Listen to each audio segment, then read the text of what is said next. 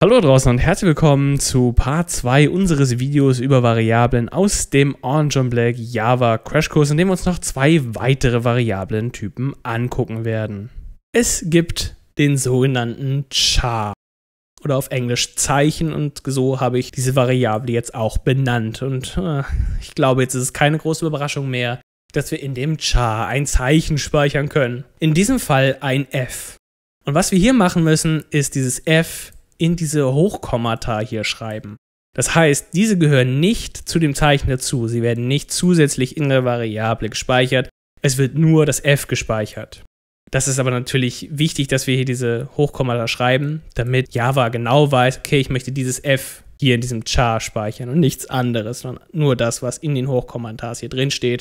Und hier kommt wieder das Semikolon, um die Anweisung zu beenden. Was können wir alles in einem Char speichern? Dann kommt eben ein Zeichen, das könnte ein Buchstabe sein, das könnte auch eine Zahl sein oder es könnte auch ein Sonderzeichen sein. Also ich könnte hier jetzt auch eine 4 reinschreiben oder ein Ausrufezeichen. Wir haben uns hier jetzt als Beispiel für das F entschieden. Bisher haben wir natürlich noch überhaupt nicht den Nutzen von Variablen gesehen. Wir sehen nur, wir können irgendetwas speichern, aber was können wir damit machen? Und als einfachstes können wir doch einfach mal den Inhalt der Variable ausgeben. Gucken wir uns an, wie das funktioniert. Dafür gibt es hier diese Anweisung. Die Anweisung an sich ist das System Punkt out Punkt print und dann ln. Das ln steht für line, also print line, drucke diese Zeile. Und jetzt was gedruckt werden soll. In diesem Fall Zeichen. Man muss hier beachten, man könnte jetzt natürlich meinen, dass er jetzt gleich ausgeben wird Zeichen. Das ist nicht der Fall. Er wird ausgeben f. Denn das hier ist ja nur unsere Variable, der Name für unsere Variable. Und was ausgegeben wird, ist der Inhalt der Variable, also das f. Also im Grunde genommen wird die Kiste hier geöffnet und das f verwendet, um ausgegeben zu werden. Wenn man jetzt natürlich nur diese Variablen als statisch ansieht, scheint das noch nicht viel Sinn zu machen, aber später können sich die Werte der Variablen natürlich ändern. Und dann kommt es eben ganz stark darauf an, was jetzt ausgegeben wird. Im Moment ist es einfach das 11 und das habe ich vorgegeben und wie langweilig ist es, dass ich es ausgebe. Aber wie gesagt, später wird es sehr wichtig sein, was in den Variablen drin steht, da sie davon abhängen, was das Programm gemacht hat, mit unserer Eingabe sogar abhängen. Und dann interessiert es uns sehr, so eine Variable auch ausgeben zu können. Etwas, worauf man noch hinweisen muss, dieser Befehl hier, der die Ausgabe ist. Der ist in Java etwas kompliziert und etwas lang gehalten, aber äh, nicht alle Befehle, ganz im Gegenteil, sind so ewig lang. Gucken wir uns also gleich einfach mal an, ob das funktioniert. Dann sehen wir auch, was Eclipse uns so noch ein bisschen zu bieten hat. Hier oben haben wir diesen Play-Button. Wenn wir da draufklicken, dann wird das Programm ausgeführt. Er sagt jetzt hier noch, okay, du hast hier was verändert. Ja, wir haben offensichtlich was reingeschrieben. Möchtest du das speichern? Und ich sage natürlich ja. Und wenn ich das tue, dann wird das Programm ausgeführt.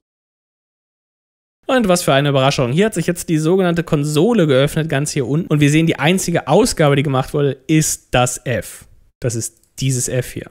Jetzt schließe ich die Konsole und wir gucken uns mal ein bisschen mehr an. Es gibt nämlich noch einen Variablentyp, den wir hier ansprechen wollen und das ist der sogenannte Boolean. Wir erstellen einen Boolean. Der Typ ist Boolean, das ist, das ist unser, unser Kistentyp und ich habe sie hier die Variable wahr oder falsch genannt und genau das kann man auch in dieser Variable speichern. True, Englisch für wahr oder false, Englisch für nicht wahr. Also was ist der Wertebereich? Wir können entweder true oder false in diesem Boolean speichern. Wenn wir also später mal das Programm irgendetwas machen lassen wollen, wo ein Ja oder ein Nein rauskommt, dann werden wir offensichtlich einen Boolean brauchen, um dies zu speichern und dann später auch auszugeben. Gucken wir uns jetzt noch etwas Interessantes an. Was wir jetzt immer gemacht haben, ist, wir haben ein, einen Typ der Variable festgelegt, wir haben einen Namen für die Variable festgelegt, wir haben gleich geschrieben und dann haben wir hingeschrieben, was da denn drin sein soll. Oder zum Beispiel hier die 42 in den Integer. Diesen Prozess kann man auch trennen. Schreiben wir also einfach mal.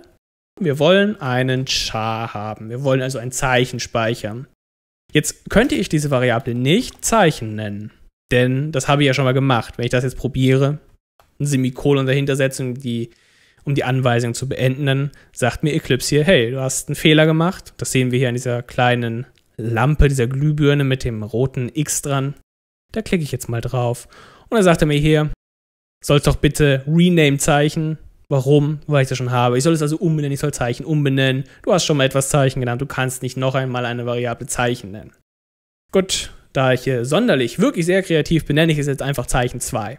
Und wir sehen, ich habe jetzt noch keinen Wert in diese Variable geschrieben. Ich habe sie einfach, einfach leer gelassen. Das ist es jetzt im Grunde auch. Wir haben eine leere Kiste, natürlich mit Label. Das Label gehört immer drauf, der Name. Und was ich jetzt machen kann, ich kann diesen Wert jetzt einzeln festlegen. Ich schreibe also Zeichen 2, das ist die Variable, die ich füllen möchte, die Kiste, die ich füllen möchte. Und sage ich gleich. Und dann mache ich wieder meine Hochkommas hier, weil wir einen, einen Character, ein Zeichen hier reingeben wollen. Dafür müssen wir immer die Hochkommas darum machen. Und ich möchte hier jetzt das U drin speichern. Und dann die Anweisung mit dem Semikolon beenden. Denn jetzt habe ich zwei oder eine große Anweisung, wie ich, die ich immer hier hatte habe ich jetzt getrennt in zwei. Einmal die Variable anlegen, sie deklarieren und sie dann hier initialisieren.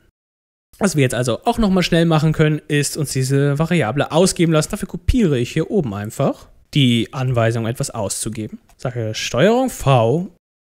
Ich möchte jetzt ja nicht mehr Zeichen ausgeben, nicht mehr die Variable Zeichen, dann würde ich einfach noch ein zweites F bekommen, sondern ich möchte ja die Variable Zeichen 2 ausgeben. Dafür mache ich jetzt also noch eine 2 an das Zeichen.